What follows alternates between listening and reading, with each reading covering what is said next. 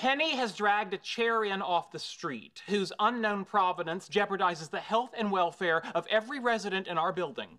Sheldon, just because you have a focus on cleanliness bordering on the psychotic doesn't mean I have to participate. All right. Name your price. Kiss me where I've never been kissed before? You mean like Salt Lake City? Never mind. I'll talk to Penny. Thank you.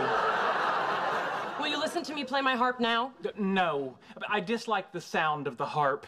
Its overuse in classic television sitcoms always makes me think I'm going to experience an episode from my past. I'm sorry, Mommy. Don't be mad at me. Don't do that.